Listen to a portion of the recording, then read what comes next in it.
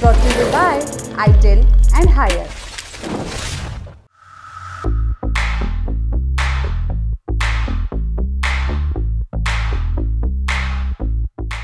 कभी मैं, कभी तुम में शर्जीना की मौत होने वाली है, या फिर मुस्तफ़ा की मौत होने वाली है ऐसी थ्योरी से इंटरनेट भरा हुआ है हुआ यह था कि पाकिस्तान से चलकर भारत तक में भयानक पॉपुलर इस ड्रामे के एक एपिसोड में इश्क के सात में से पाँच मुकामों, दिलकशी, उन्स मोहब्बत अकीदत इबादत की बात हुई थी.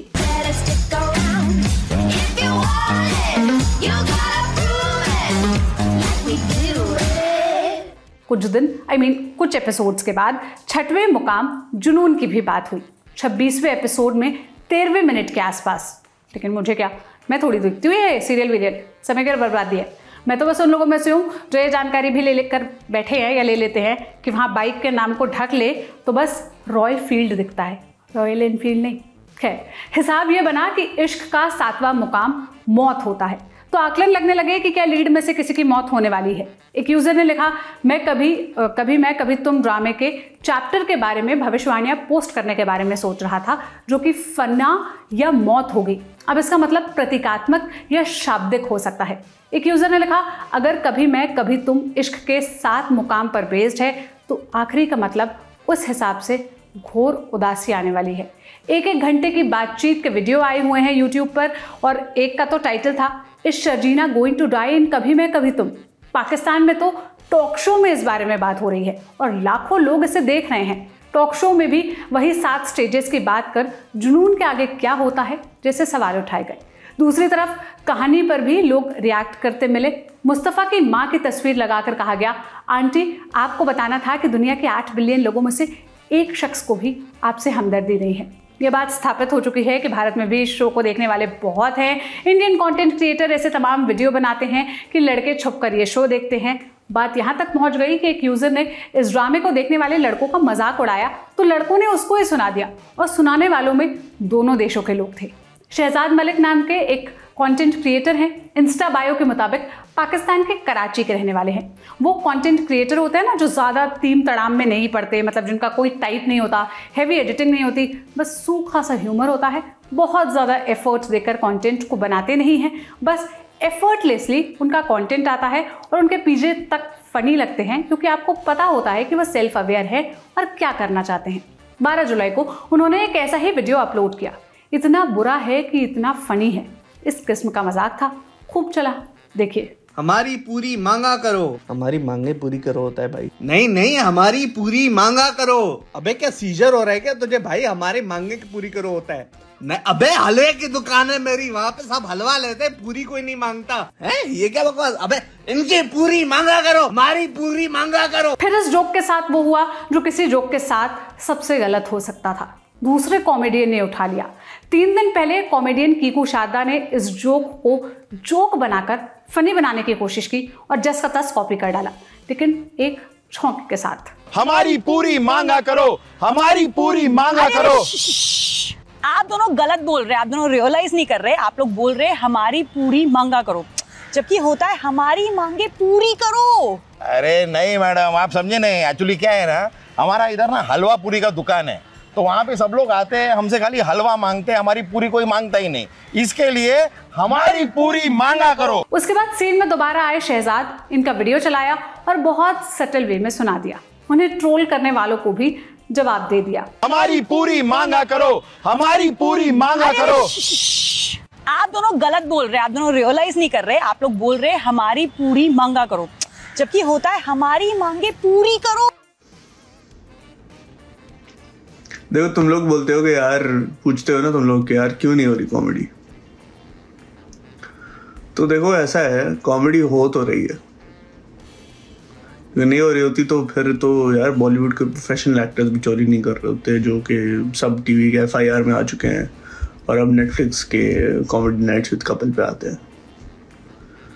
तो कॉमेडी उधर नहीं हो रही ना, तभी तो जहाँ से हो रही है, वहाँ से जोक्स लिए जा रहे हैं। रूटीन की बात है, ऐसा होता रहता है। कुल जमा बात यह है कि भारतीय कॉमेडियंस को लगा होगा, किसी लड़के का वीडियो ही तो है मतलब एक्ट करके डाल देंगे, किसी को क्या ही फ़र्क पड़ेगा? कौन सा बड़ी बात है? इंस्टा की रील ही तो है, लेकिन नाम हंसवा दिया उन्होंने। अपना तो हंसवाया ही हंसवाया, वो पाकिस्तानी लड़का इंडियन चैनल्स का भी मज़ाक उड़ा गया। अब लोग शहजाद की पोस्ट पर कह रहे हैं my favourite genre of comedy stealing a joke and making it worse मज़ा आ गया। हा हा हा हा। वहीं कीकू शारदा की पोस्ट पर लोग लिख रहे हैं stolen content from the Shahzad show किसी ने लिखा, चोरी का कंटेंट तो कोई बोला आइडिया स्टोलन अब मस्त है।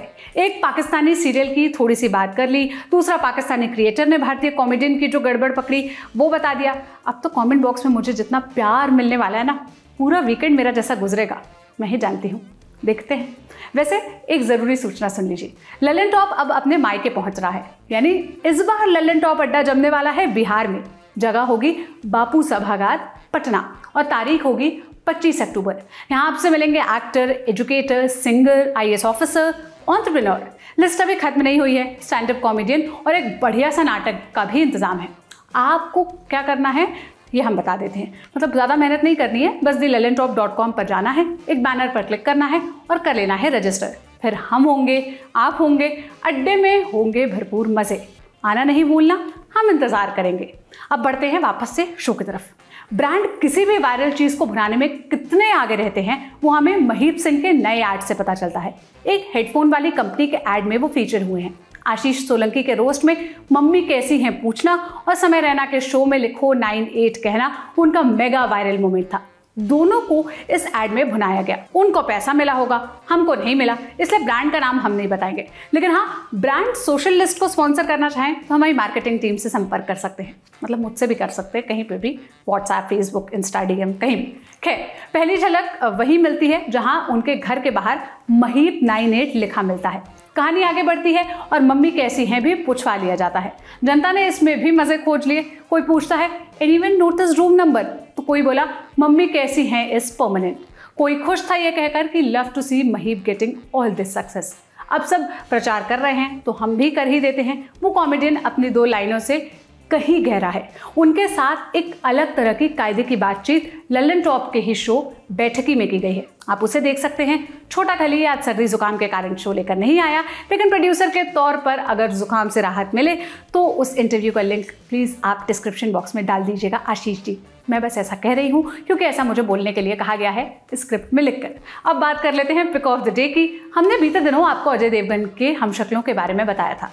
काजोल के हमशक्लों के भी नौ रूप दिखाए थे। अब बारी है टॉलीवुड की। एक वीडियो में हम शक्ल दिखे। आप देखिए और बताइए, ये किन किन के हम शक्ल हैं और धनुष के हम शक्ल पर विशेष ध्यान दीजिएगा।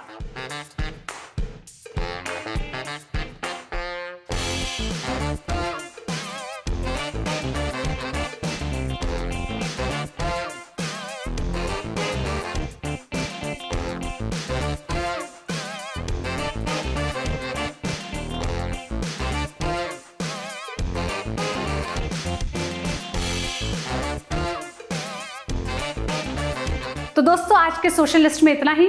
बस अब मैं चली। मैं ज़्यादा अच्छी लगती हूँ आशीष। या आप लोग कमेंट बॉक्स में लिखकर लड़ते रहना। आशीष से मिलिएगा मंडे टाटा।